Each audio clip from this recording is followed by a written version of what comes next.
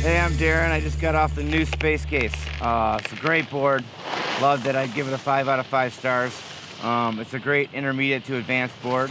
Um, it's an all-mountain board. You can ride the whole mountain with it. Um, it responded well to all my turns. I really thought it was an awesome board. Once again, 5 out of 5 stars.